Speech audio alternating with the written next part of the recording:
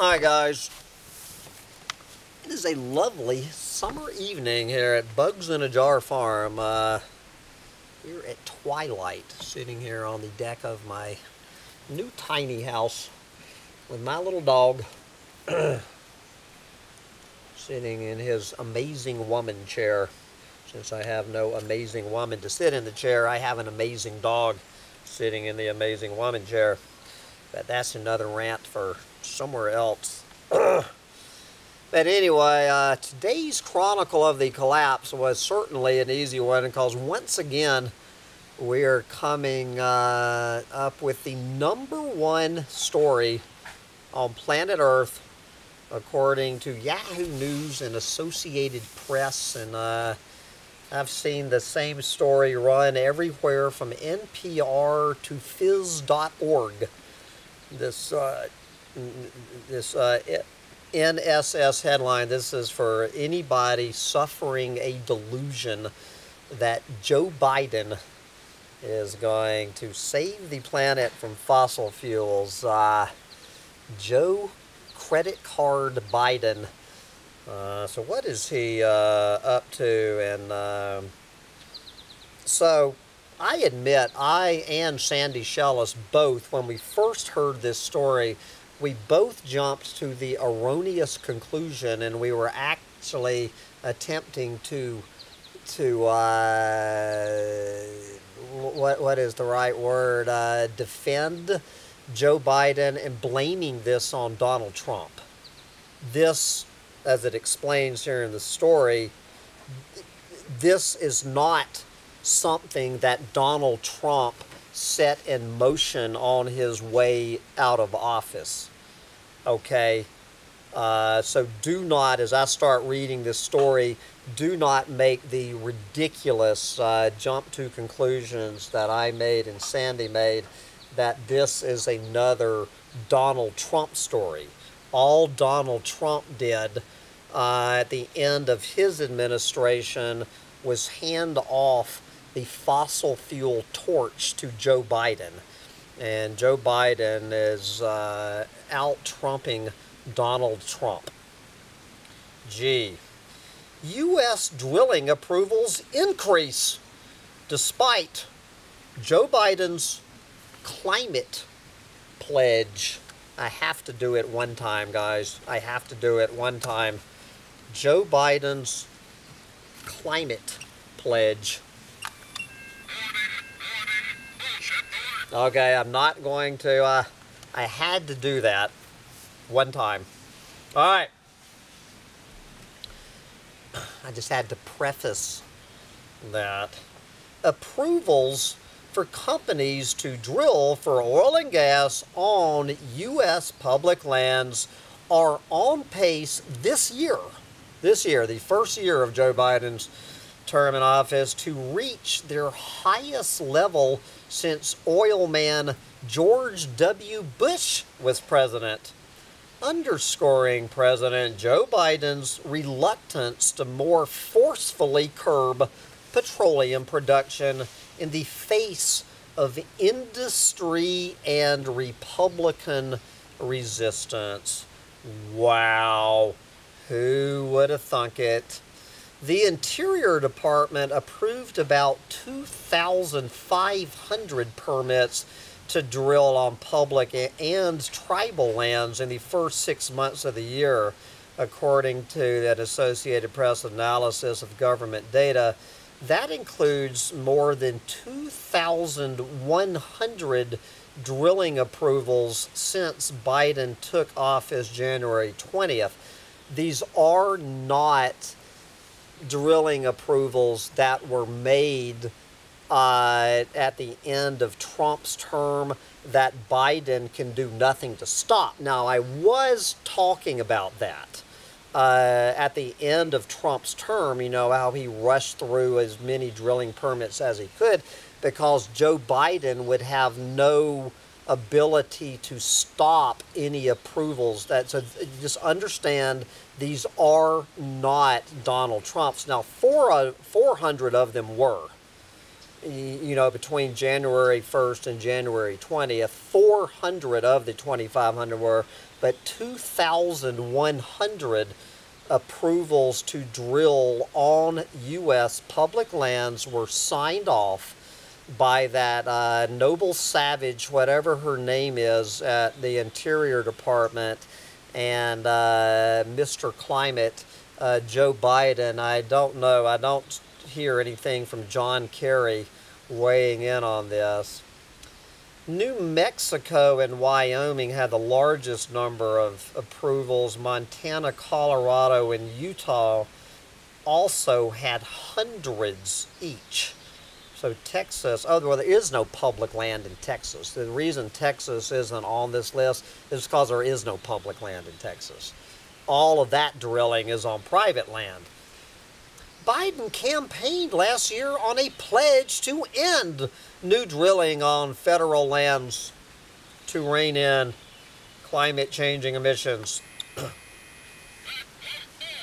His pick to oversee those lands, Interior Secretary Dab, Deb Haaland, you know, who is uh, a Native American noble savage, was an adamant opponent of dwelling on federal lands while in Congress and a co-sponsor of the liberal Green New Deal. But the steps taken by Biden's administration to date on fossil fuels are more modest, including a temporary suspension on new oil and gas leases on federal lands that a judge blocked last month anyway blocked petroleum. Uh, so what he did block, okay, so the two things that he did keep his promise about, he blocked petroleum sales in the Arctic National Wildlife Refuge, uh, you know, which Trump wanted to open up, and he officially canceled the Keystone XL oil pipeline from Canada. So uh, he is resting on those laurels. So ANWR and uh, and Keystone are dead thanks to uh, Joe Biden. Uh, but these other steps are more modest. Yes, I would say uh, taking uh, drilling on public land approvals out trumping Donald Trump to go back to when a, an oil man was in power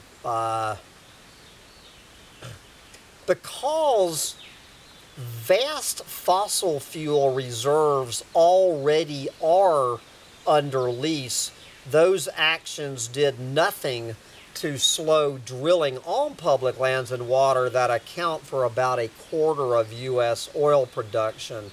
Uh, talking about the cancellation of ANWR and uh, Keystone did nothing to slow drilling on public lands and waters. Uh, and that is because of the vast fossil fuel reserves that were already under lease that were approved by Donald Trump. I, am adding a lot uh, since I'm not, uh, since uh, I am not an editor at AP. I'm trying to explain this to people uh, who just uh, don't understand what's going on here. Further complicating Biden's climate agenda is a recent rise in gasoline prices to over $3 a gallon in many parts of the country. Any attempt, any attempt to limit petroleum production could push gasoline prices even higher and risk souring the economic recovery from corona panic. Yes, this is uh, some energy industry analyst Parker Fawcett. Quote, he is walking the tightrope. Yes, uh, noting that Keystone and ANWR came with that Keystone and ANWR came without huge political costs because they were aimed at future projects. Quote, those easy wins do not necessarily have huge impacts on the market today. Biden is definitely backing off, taking drastic action that would rock the market. We are, what you are going to see is U.S. oil production is going to continue to rebound, close quote. Uh, you, you know, the, the noble savage, uh, Deb Haaland, now in charge at Interior, who, you know, who used to be such a vocal opponent of drilling on public lands, uh, has now sought to tamp down Republican concern over potential constraints on the industry. Yes. She said during a House Natural Resource Committee hearing last month that there was no, quote, plan right now for a permanent ban. And, and guys, do not uh, confuse this whole story with fracking. You, you, know, I mean, Joe Biden and Kamala Harris were falling all over themselves, particularly when they were in here, you know, speaking in Pennsylvania, that there has never been a plan to ban fracking. Uh, he never had that on the table. Uh, but the liar in chief certainly uh, promised that he was going to ban uh, fossil fuel drilling on public lands. And uh, he did make this little temporary ban, uh, you know, just so he could get elected into office. And then, of, of course, uh, the, the judge threw it out anyway. All right. This is Deb Haaland talking to Colorado Republican Representative Doug Lamborn, quote, gas and oil production will continue well into the future, and we believe that is the reality of our economy and the world we are living in. Thank you, Deb, for uh, pointing that out to anybody suffering any delusion that uh, you are going to see any sort of reduction in, in, in fossil fuel demand. Uh, you will see an increase in all of this little lefty, uh, greeny New Deal stuff. You are going to see more solar and hydro, all of that crap uh, is going to increase, but it's not going to decrease the fossil fuels. Are you following me?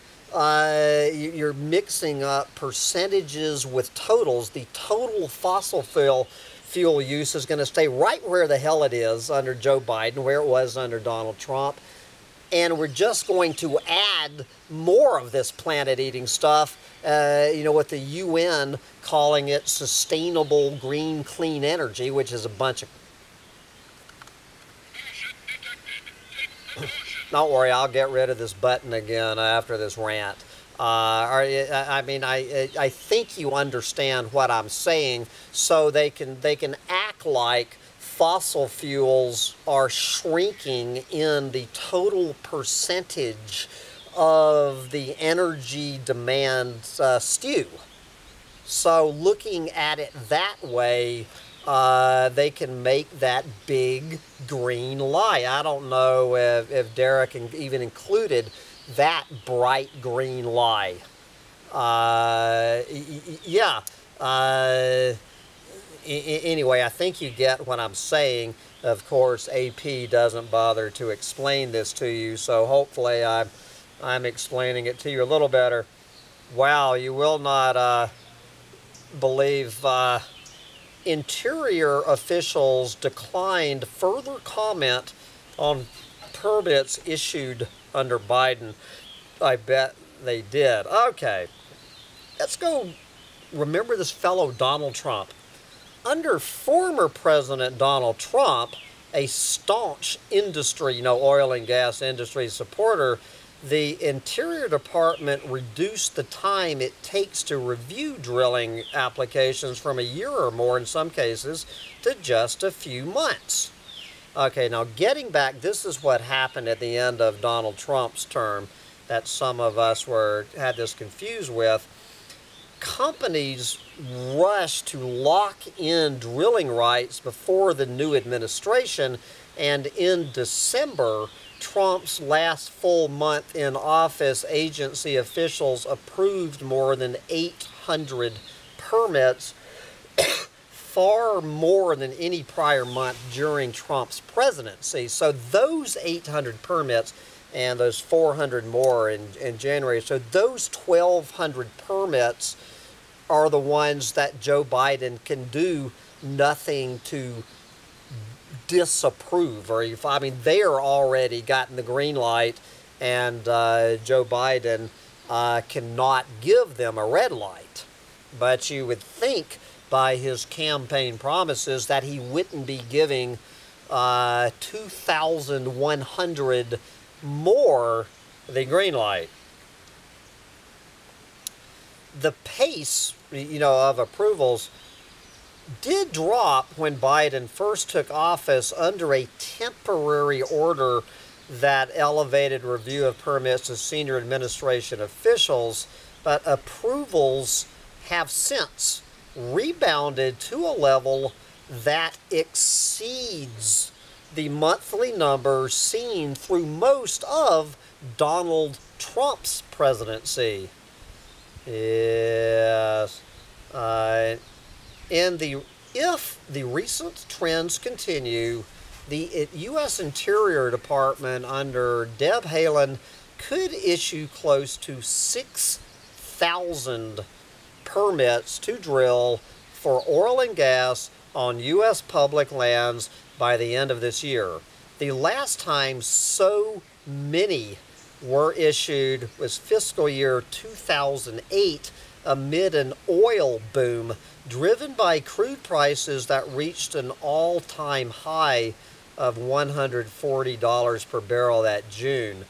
Decisions on about 4,700 uh, drilling applications remain uh, pen, remain pending as of June 1st, which means approvals are likely to continue at a heavy pace as officials work through a backlog left over from the Trump administration, said uh, industry analyst Fawcett. So uh, they're working through a backlog and going right ahead and, and, and approving them.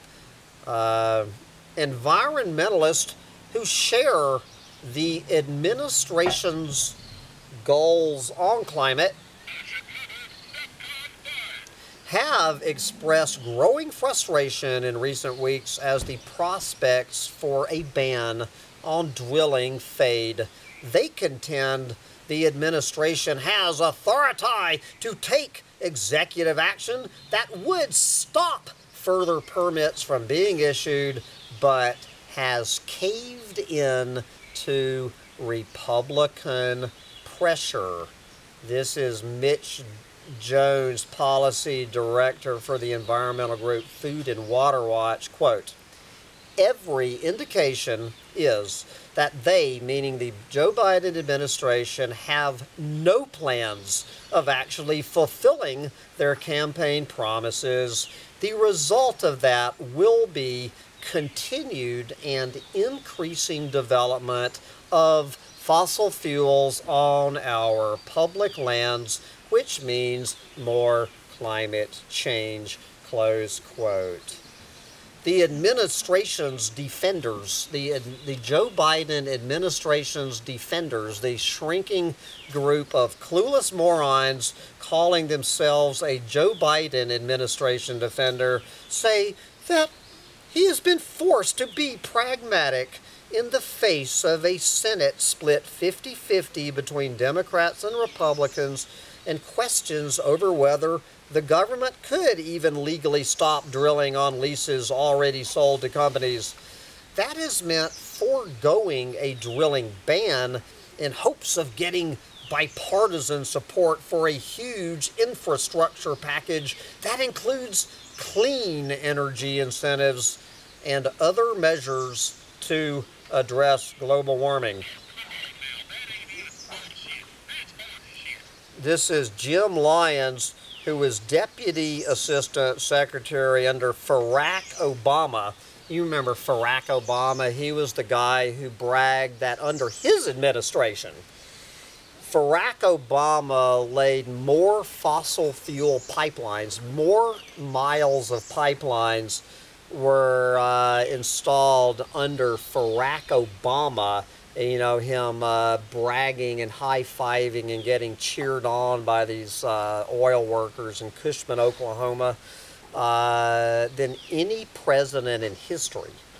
I don't know if Donald Trump got more pipelines laid down than Barack Obama, but at the end of Barack Obama's term, uh, his environmental legacy uh, was that uh, he laid down, well, not, you know what I'm saying, his administration approved more fossil fuel pipeline uh, construction than any president in U.S. history. So we're going to wrap up with Jim Lyons from the Barack Obama administration. Quote, it's the long game. You have got to have, you have got to appease some of those oil and gas state senators. It means jobs back home for thousands of workers. You can't just pull the plug overnight. There you go, since I uh, did not dig the no shit Sherlock button out of my uh, so I am going to make a campaign promise that I will pack away the bullshit detected button again and not bring it out on this channel.